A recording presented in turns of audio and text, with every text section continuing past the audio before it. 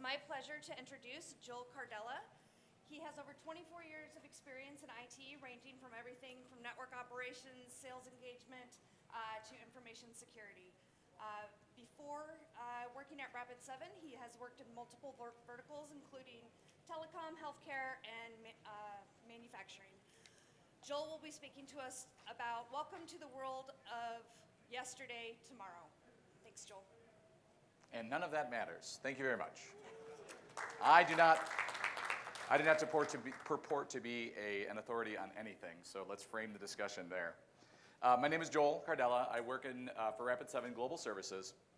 I want to talk to you today about some things that I'm calling part of a storytelling series.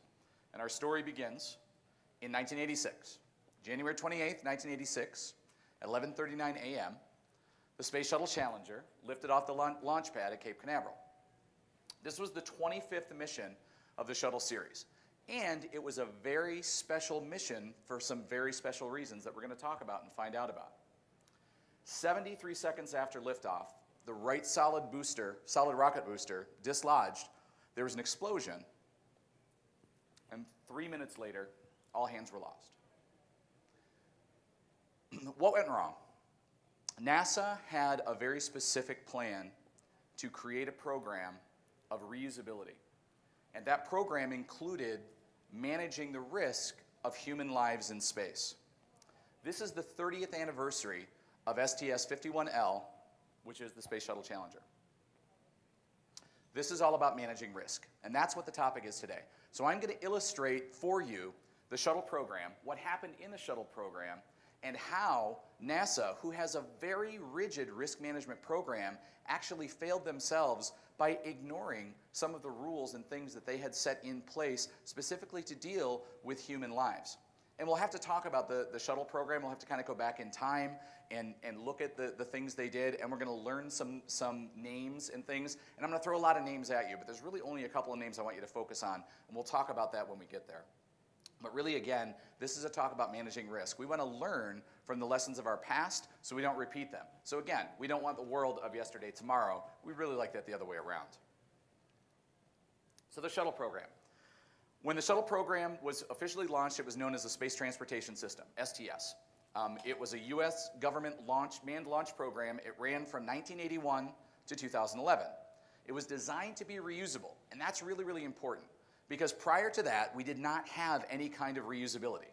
We had rockets that we would build, we would send them into space, the rockets would explode, and the money would be lost. That would be it. So we started talking about how can we get something that's recoverable so we can actually make space travel economical and affordable. We can send things up, we can bring them down. That's what SpaceX is doing today. When they're launching their rockets out into space and then bringing them back down in that amazing platform on rough seas, right? The Dragon X, like the most amazing video I think I've ever seen in my lifetime. And I've seen all this stuff. I was alive when they were launching the space shuttles, which was the most amazing thing, right? When we can get to the point where we can recycle this stuff, we get to this point where, wow, economics doesn't become such a huge factor, and we can actually do something with this technology. We can make it into something. That's really exciting, and that's what the driver is for the Space Shuttle program. There was 135 missions that were flown between 1981 and 2011, and those missions were things like carrying payloads, doing crew rotations for space stations, recovery of satellites. We would not have the Hubble today were it not for the shuttle mission. We would not have the docking ports on the space station Mir or the International Space Station if it wasn't for the shuttle program. The shuttle program enabled all of these other programs to happen. So it was a very important part of space travel history. To date, it is the only manned spacecraft that has orbited and landed, which is pretty exciting.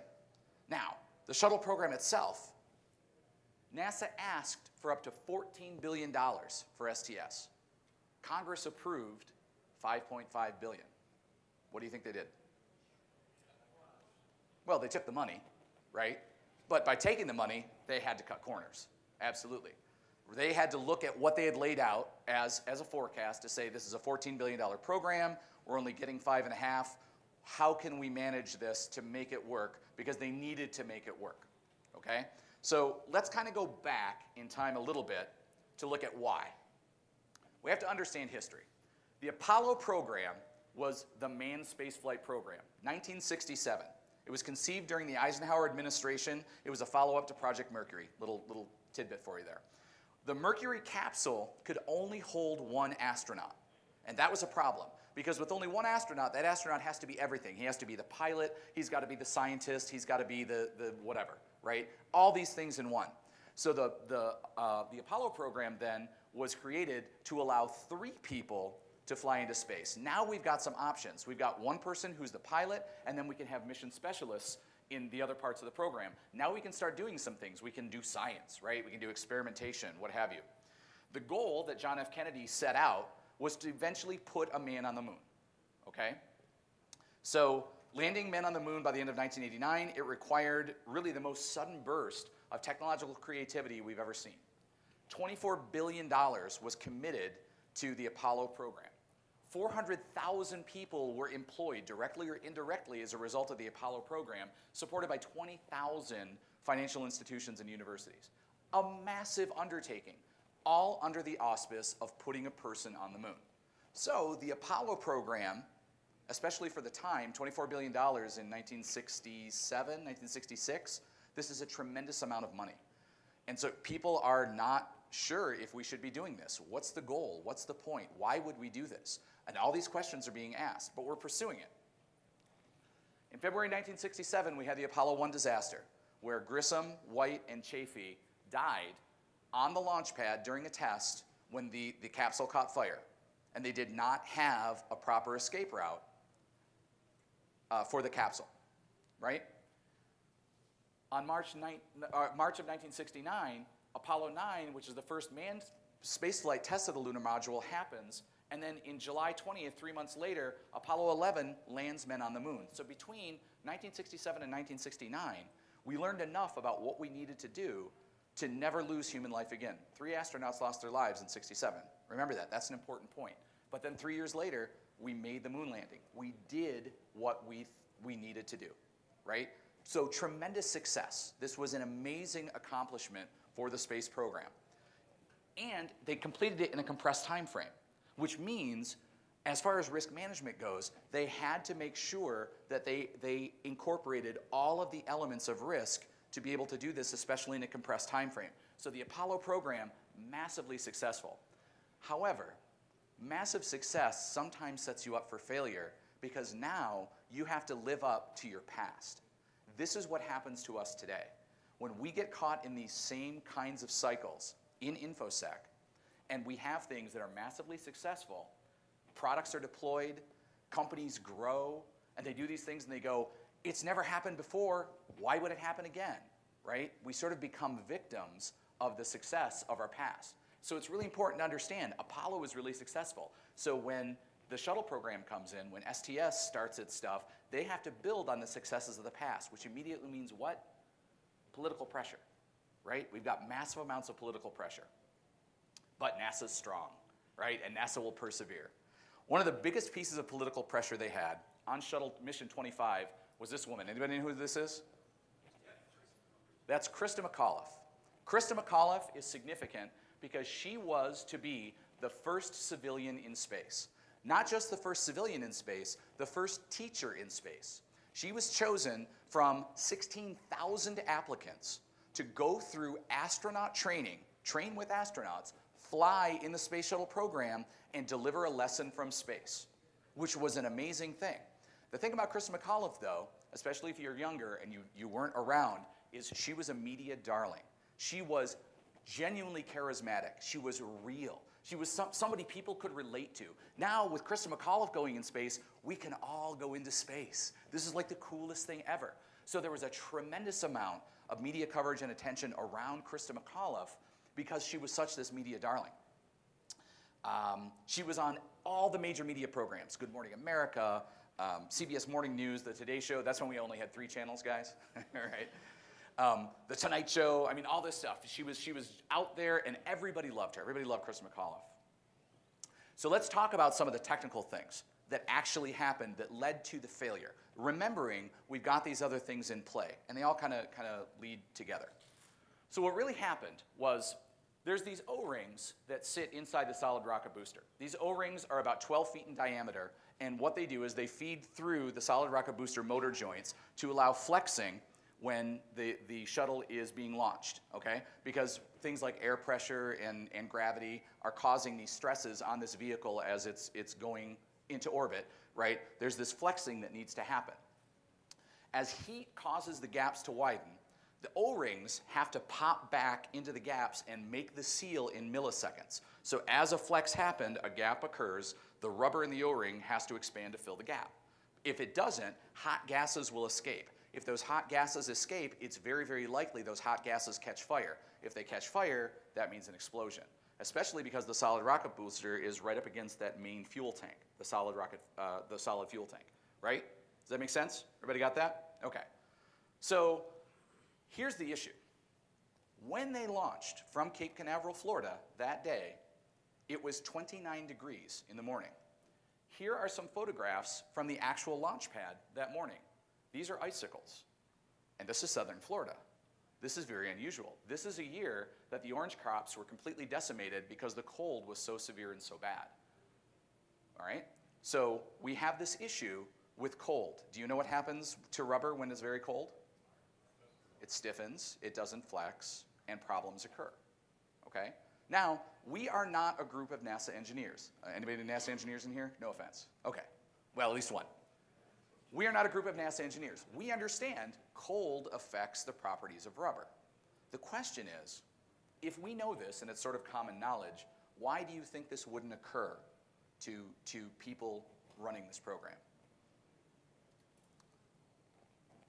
So what happened is the O-ring failed. There was a small escape of hot gas. The hot gases caught fire. There was an explosion. The explosion is not, by the way, what killed the astronauts. A lot of people think that that's true. The explosion, what it did is it dislodged the main cabin that housed the astronauts, and they fell uh, 30,000 feet, 40,000 feet, hitting the ocean at a speed of about 300 miles an hour. And that took about three minutes of free fall. And that's what they think actually, actually killed the, the crew, right? So it wasn't the explosion. So why didn't anybody anticipate this scenario? Why do you think? We know that rubber doesn't work under pressure. Why do you think nobody anticipated this? Oh, somebody just said it. Who said they did? Because you know what? They did. They absolutely did. They knew it would happen. Now, I'm telling you this in retrospect, right? They knew it would happen because we now know they knew it would happen. But the steps that it took for us to figure out why they knew it would happen are all the failures that I'm talking about in managing risk. That's what's going to come out here. That's what's part of this story. Very specifically, written documentation uh, showed that they had proof that these problems happened with their O-rings, which we'll talk about in a little bit. So this man up here is George Hardy. You don't have to remember these names, I'm just pointing them out. George Hardy, and this is Larry Mulloy. These were people in NASA who were part of what was going on.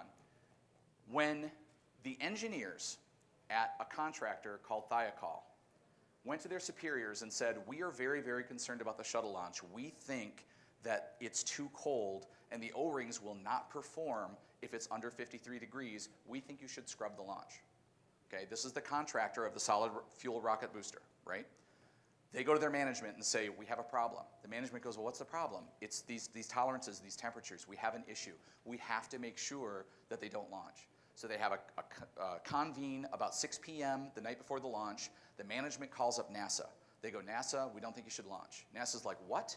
And these are some quotes. I'm appalled. I'm appalled by your recommendation not to launch. When do you want me to launch? Next April? Here's what you have to understand. This particular shuttle mission, which all eyes are on because Christa McAuliffe is the first civilian in space, has already gone through three scrubs. They've had three times where they were going to go to launch and they didn't. It also is the exact same day as the State of the Union speech by the president. Now, there was some research done to see if any of these things are related, and there wasn't any concrete evidence found that these things are related, that their political pressure was so great that they had to launch on that day so the president could talk to Christa McAuliffe from space. But anecdotally, it's probably there. And there are issues with that that we'll look at here in a minute, right? So all this comes out later, by the way, through this investigative body that we call the Rogers Commission, held by, uh, chaired by, um, by uh, Chairman Rogers.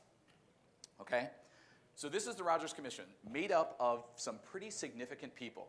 We've got Sally Ride, the first woman in space. We've got Neil Armstrong, the first man on the moon. We've got Chuck Yeager, the first man to break the sound barrier. We've got Richard Feynman, a Nobel Prize winning physicist. Richard Feynman is going to be the focus of the rest of what I talk about because he's a fascinating individual that really went outside the realm of what he was tasked to do to figure out what these problems were. And I credit him for finding these issues with risk management and really bringing them to light. But suffice to say, these are important people. The two people that I want you to remember, though, are Richard Feynman, who is a Nobel Prize winning physicist on the panel, and this is Donald Kutyna. He's a general, well entrenched in NASA, really knows all about the space program. He was a fighter pilot. He, he was involved in many, many, many aspects. It also turns out that he was super politically savvy and a puppet master. And he is the reason that we know what went on today, why it went, why it went on. Okay? We also have a special guest that I'll talk about later. Now, one thing you have to understand is I'm a thespian, and so we have this thing in theater where we draw the curtain back slowly, so I'm not going to tell you who this is now until the end because that's all suspense and drama that I get to build up, and that's good for me, right? So Feynman, or Feynman, however you want to say it, um, he gets this job because he has this inquisitive nature. They call him up and they say, we want you to do this job. And he goes, I'm a physicist. I'm not a politician. I don't want to deal with this. This is ridiculous. His wife, Gweneth, says, All right, look, if you don't do this, here's what's going to happen. They're going to get 12 people. These 12 people are all going to walk around in a group doing things and seeing things and seeing the same things and coming to the same conclusions. If they pick you, they're going to have 11 people going around doing the same things, coming to the same conclusions, and one guy running around figuring everything out. And he's like, Yeah, you know what? You're right. And that was Richard Feynman. He was the guy running around figuring everything out. Chairman Rogers even told him more than once, You're a pain in the ass, stop it, you're causing problems. He actually wanted him to stop the investigative efforts he was doing. Feynman was never really sure where his line was, so he just started crossing them. He's like, all right, well, if you're not going to officially tell me I can't do this, I'm just going to go do it, right? So he had a, somewhat of a shaky start. People were upset with Richard Feynman because he was asking questions right? And people don't like to be asked questions, especially when they're put on the spot. Now, think about it. We've had a shuttle disaster, it's a national disaster. We've had all this media attention around Christa McAuliffe. It's a big deal. All eyes are on what's happening in the Rogers Commission. People are very, very, very nervous, and some crazy guys asking them a bunch of questions, right? What's their first inclination? Right? As little as possible information fed. Kind of like working with an auditor, right? When you work with an auditor, you answer the questions the auditor asks, and you don't volunteer more information. Now, I love auditors. I volunteer more information. I am a completely different individual because I understand what that gets us in terms of helping us go forward. And so did Richard Feynman. So I like to think I'm a little bit like him, you know, without the brains and stuff, right? But really, Feynman's big disappointment here is he doesn't like the sterile conditions of the testimony because what's happening in these congressional hearings is they're pulling people up they're sitting in front of a, a, congressional inquiry. It has the Rogers Commission there and, and senators and, and, congressmen, and they're, they're testifying in front of a microphone, you know, similar to some things we've seen in this political season, right? That's exactly the way it's going. And Feynman's going nuts because he's not a politician. He's like, no, I want to talk to the engineers. And he gets to talk to the engineers once or twice, and they start telling him stuff. And he's like, yeah, I'm really excited by this because he's a technical guy. Even though he doesn't understand, you know, space travel and the space program, he gets to talk to them about their technical problems. And he's like, yeah, tell me about your problems. And he really starts to, to figure out what these root indicators are that wind up being the total problem at the end, but only when they let him talk to the subject matter experts. And that's one of our lessons here, is we have to listen to our subject matter experts, especially when we're dealing with risk. You want to go to the people who understand most about what that risk is to get the information to make a decision. That's exactly what Feynman's doing, right? So he starts meeting with engineers, he's making these small discoveries, and he's figuring out that these are smart enough people that they should have known that these rubber seals were a problem. Turns out they did, and they have written documentation to show it. But this is what he's suspecting at this time. He's running around, he's like, Yes, I can see, you know what you're talking about, you have all this great knowledge. So, really, what's the deal? He makes the first of several critical discoveries. If the technical people know what's going on, but there was no communication, no one has discussed the problems between their flights. Every single shuttle mission, the 24 prior shuttle missions, showed problems with the O-rings. They have a thing in, in uh, space travel where they do uh, a flight safety prep check. They do a check before the launch, they do a check after the launch. And they followed their procedures to the letter. Every single one of these checks showed problems with the O-rings for 24 missions. But they lucked out 24 times and it never failed. It was never talked about between flights. And he went, Why?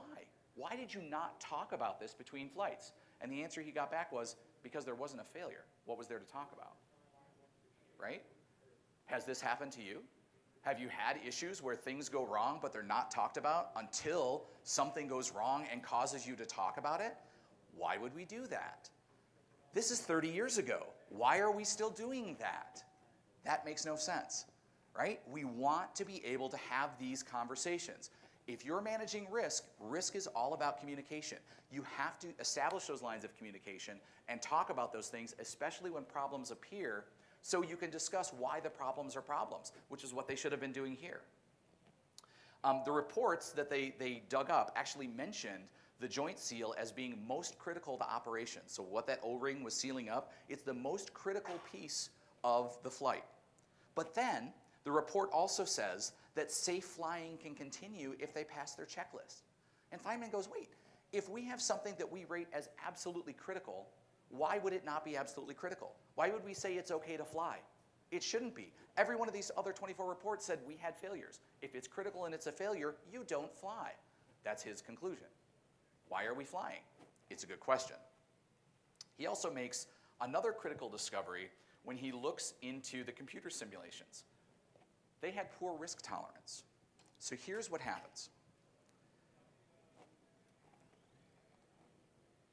There's a few people who are making decisions, and they're making decisions based on their available information.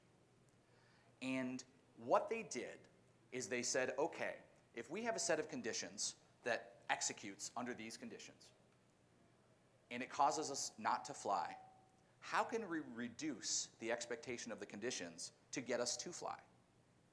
So effectively, what they did is they took their risk tolerance, which they already had here, and said, we will not lose a human life, which came directly out of the Apollo program. Remember, we've lost three astronauts. We will not do anything to lose a human life. The actual quote is something like, if any party disagrees that this is a problem and human life is at risk, we don't fly.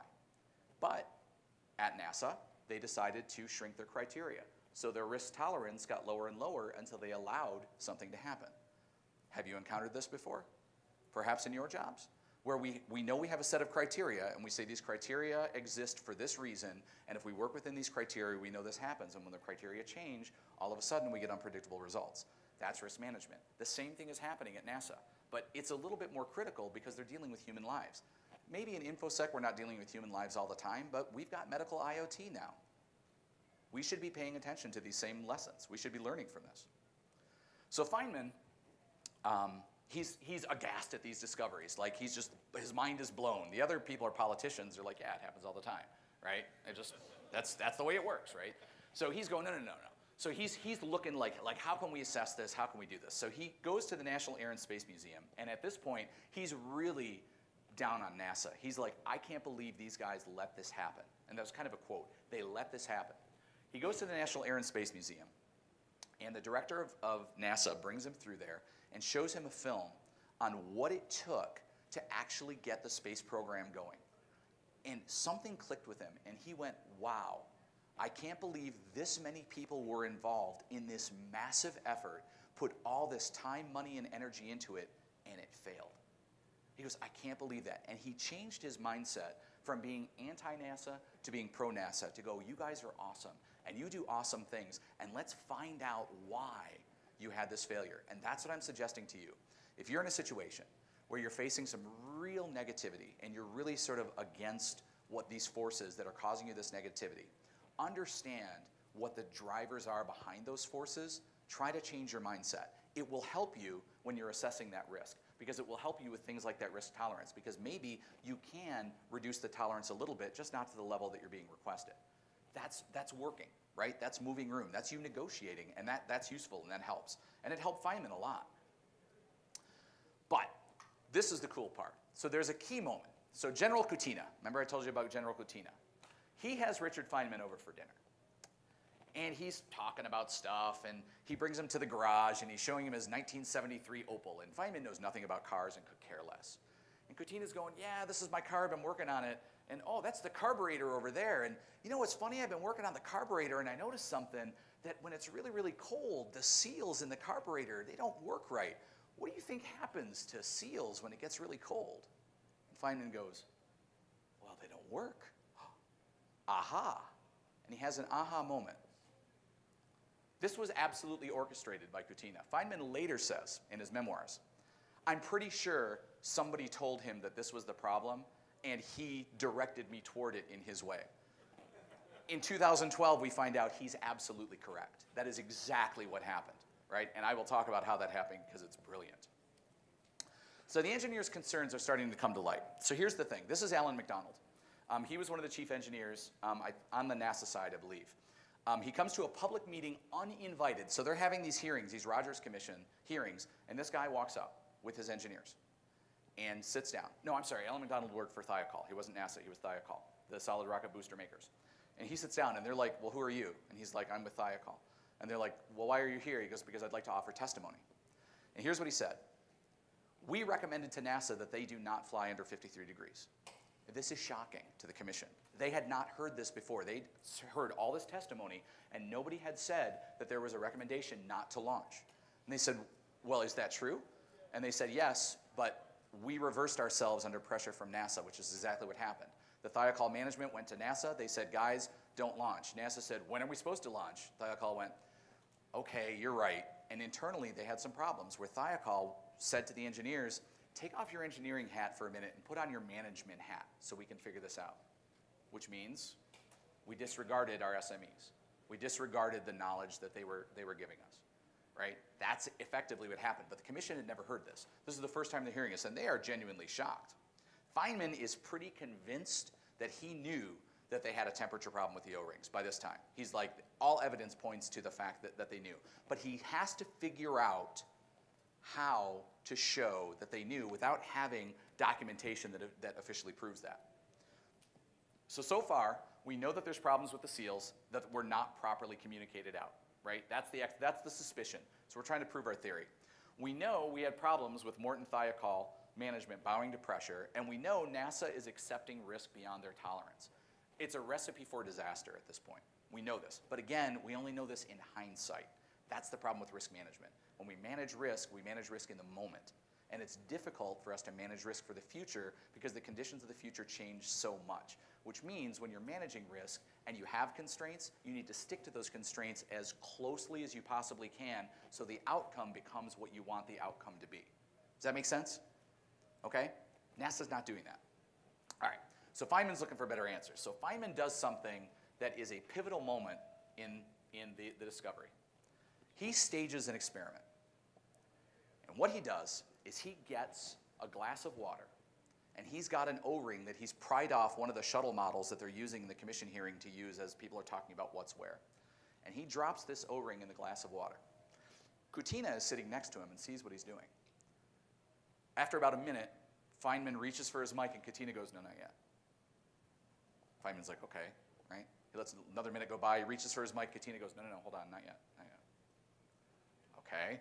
About another minute passes, he reaches, and Kutyna goes, hold on. He goes, when he gets to the testimony where he's saying this, that's when you do it. Feynman goes, okay. So Larry Mulloy is testifying. He gets to this point where he says, and we had no indication. Feynman goes, excuse me. And he pulls the O-ring seal out of the water, and uh, he'd had a, a C-clamp on it. He pulls a C-clamp out, and the thing very, very, very slowly starts going back into shape. And he has a famous quote where he says, I believe this has some significance to our problem. Because remember, they were supposed to pop back in milliseconds.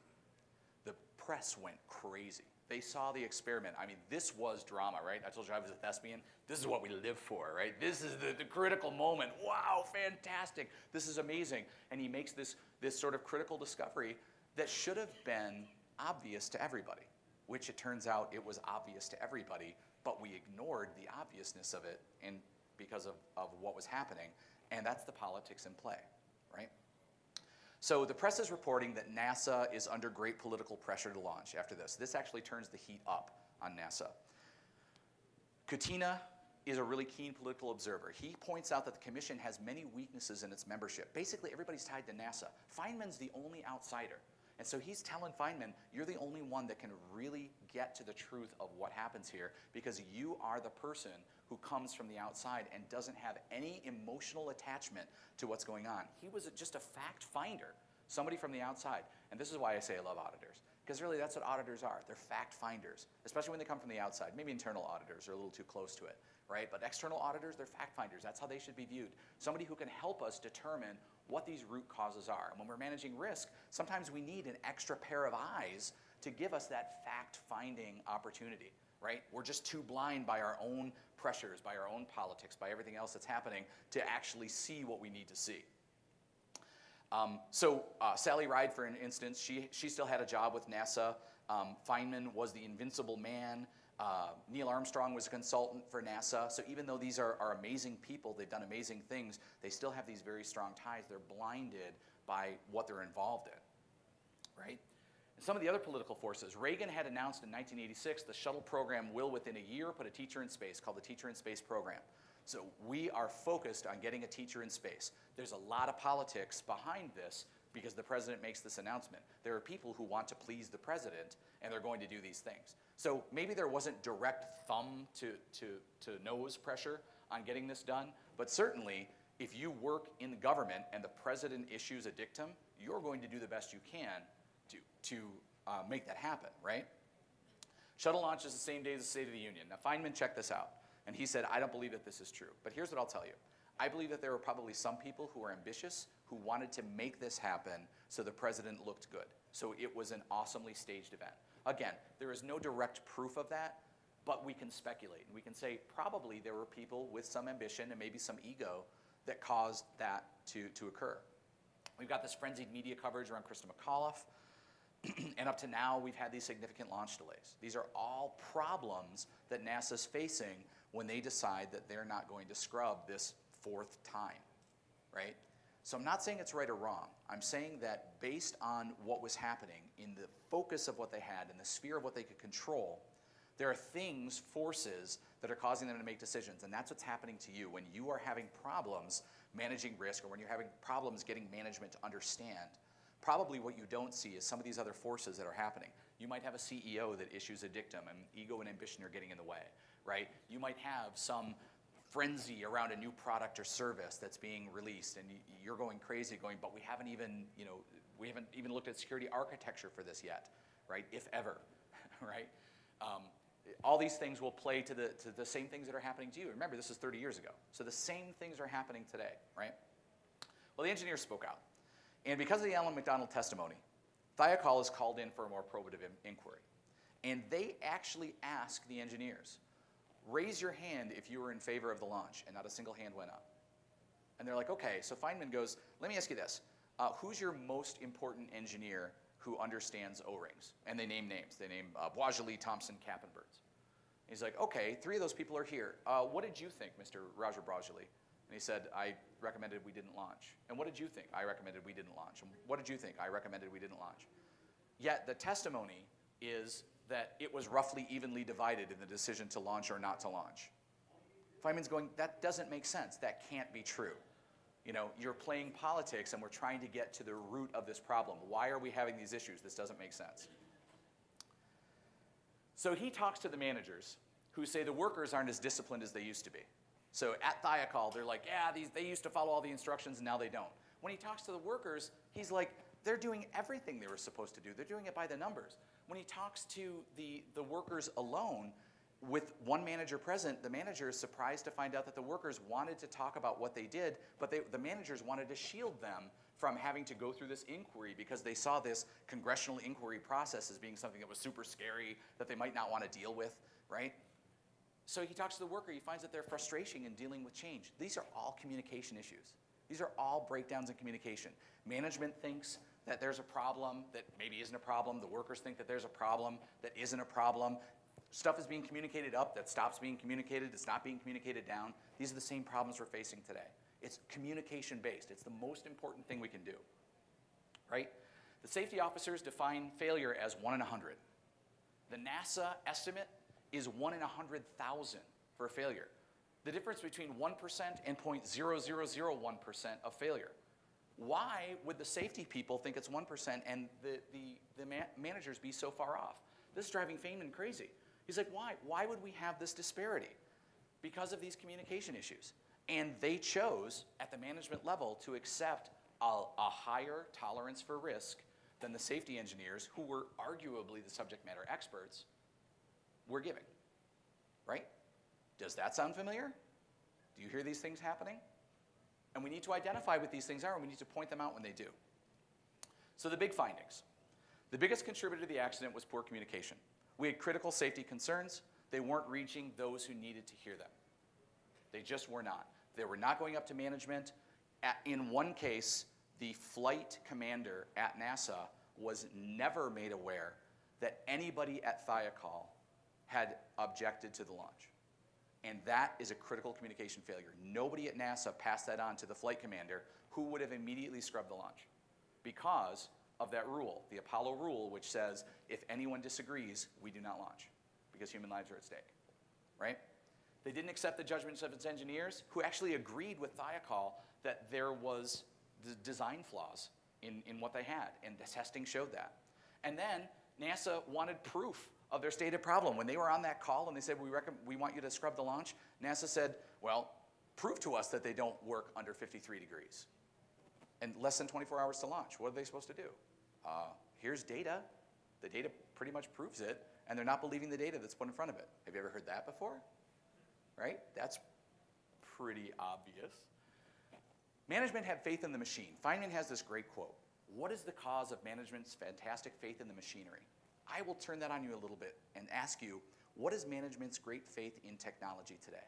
Why do our managers believe that there's a big red button for security that says, we're secure? Why? Why do you think? Why do you think? What is it? They're not talking to each other. What else? What, what other kinds of things can you think of? They want to believe it. Money. Money, right? What did you say? Easy answer. Right? Messenger always gets shot. Messenger gets shot, trust. If you haven't seen a failure, everything is working. That's exactly right. If we have never seen a failure before, why would we see a failure in the future?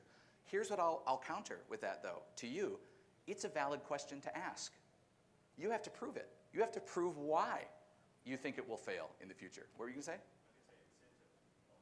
Yeah, bonuses, incentive, right? All of these things. But really, what don't, what don't they understand about the fact that we need to have the secure architecture and, and the things? These are the things that you need to think about, right? Complexity is definitely an issue. How do you explain it? How do you explain it, right? A big red button is easy. What you're talking about has all these moving parts, and I don't like it, right?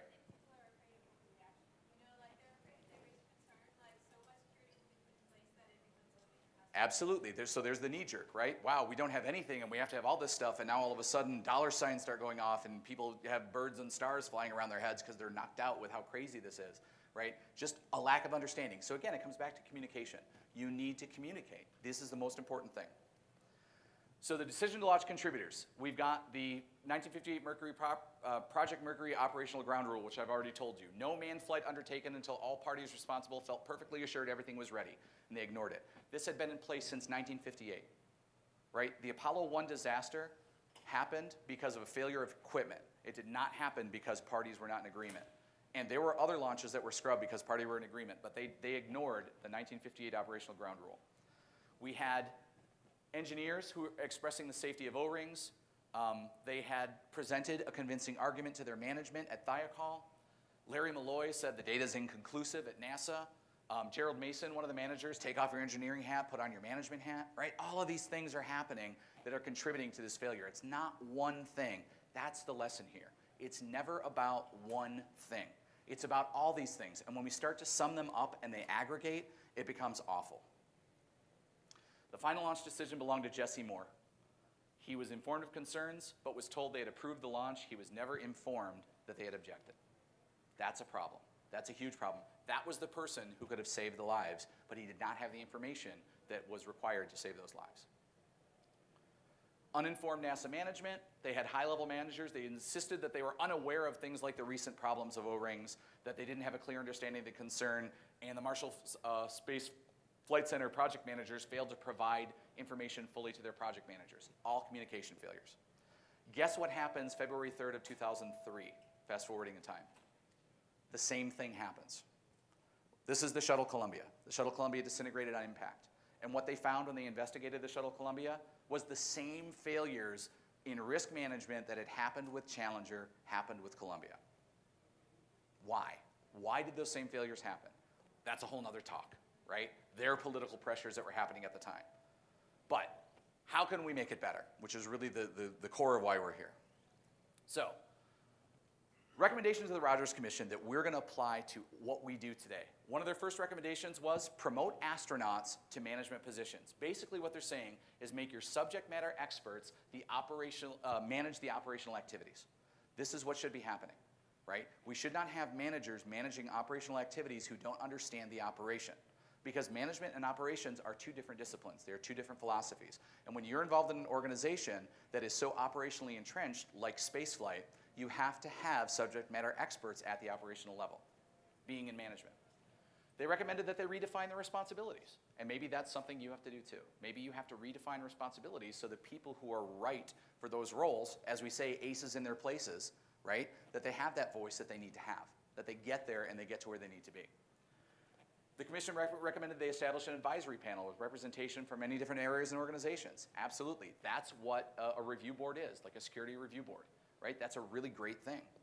Establish an office responsible for reporting documentation of problems, problem resolution, and trends. They ignored their problem trends. They just ignored them. But you need to have an office that reports them. Changes of personnel, organization, indoctrination, or all three to eliminate the management isolation, which happened. You might not have control over that, but sometimes that shakeup is good. Develop policies which govern um, the imposition and removal of constraints. Establish a flight rate consistent with resources. If you're in DevOps, maybe you've got way too much in your queue right now to deal with the output. Your flight rate is now being impacted, right? What you need to deliver is being impacted by the queue itself. It's got to be managed. It's got to be focused. It's got to be able to be within constraints that you can manage with risk. And then are you part of the problem? So Mulloy explains how the SEALs are supposed to work, and Feynman says, in his usual way, he's using acronyms. It's hard for anybody else to understand. We're all guilty of this. Our industry can have entire conversations using 12 letters. That's insane to an outsider. They have no idea what that means, right? We need to work on this. This is one. This one's on us. So I'm going to jump forces or jump forward a little bit here. The forces working against you when you're doing this is you've got political forces, economic forces, ego, and ambition. These are all things that conspire to work against you, and it's difficult to overcome. But you need to be aware of them so you can manage them when they happen. You may not be aware of, of the politics, so become aware, ask questions. You may not be aware of the economics, ask questions, right? Ego and ambition, these are personal problems. These are things we're gonna run into and they're gonna be issues.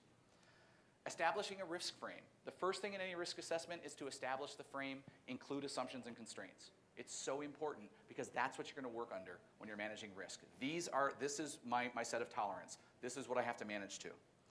And be like Feynman. Feynman is just a pain in the ass, walking around asking questions. Ask questions. Don't just assume something is, ask it. It's really, really important. All right, so let me jump to here. The human component. I've talked to you about Richard Feynman, I've talked to you about Kutyna, and I've said Kutyna was a mastermind. Feynman in his memoirs said, I think Kutyna heard it from somebody at NASA, probably an astronaut, that these O-rings had a problem, but I can't prove that. Kutyna never said a word until 2012. In 2012, he said, I was walking down the hall next to an astronaut at NASA. They pulled a piece of paper out of the notebook and handed it to me without looking at it. And on that piece of paper were two columns. On one side was temperature, and on the other side was resilience of the O-rings. This was a NASA internal memo. So they knew at NASA that they had problems with O-rings and temperature. Now, who do you think gave it to Kutyna? Who do you think? I've actually talked about that person. It was Sally Ride, who was on the Rogers Commission, who had ties at NASA, and with those ties, used it to pass the information to Kutyna in a covert way. He then took that information, puppet mastered with Feynman, and got the information out. right? She still worked at NASA. She risked her career. He still worked at NASA. He risked his career. How could they get the information to where they needed to get it, to where it needed to happen? Pretty brilliant. And maybe that's what you can do too. Pretty diabolical. So you got to be thinking pretty diabolically. It's pretty tough. So for a successful technology, reality must take precedence over public relations, for nature cannot be fooled. So I'm being asked to stop, which is fine. Do we have any questions for any of this? Do you understand a little bit more about managing risk, about how it has to be framed and how we have to contextualize it? It's incredibly important to understand as we go through. Before I close, I want to say one more thing. I want to talk about this man, Bob Ebeling. Bob Ebeling was one of the engineers at Thiokol. Bob Ebeling personally felt responsible for the deaths of seven people. So personally responsible that on the day of the launch, he told his wife, I'm going to take a gun into mission control and I'm going to stop them from launching if I have to kill everybody there. That's how personally he took it. After the launch, he spiraled into a deep depression for 30 years before he died this year in January. He took it personally until some people at NASA and other people who'd heard his story said, it wasn't your fault. My message here is this. You can be emotionally attached to things and they can really, really, really bother you. But what you have to understand is that sometimes they are out of your control. And if they're out of your control, deal with them as best you can. Don't internalize them, right? Bob Ebeling died with a clear conscience, but I don't want you guys to walk away from something with a bunch of negativity just because there were things you couldn't control, right? Things out of your control, they're out of your control. Manage risk the best you can, understand your constraints. That's the big lesson. There's a bunch of references. If you're interested, I recommend reading any of Richard Feynman's books. They're fantastic. Thank you very much.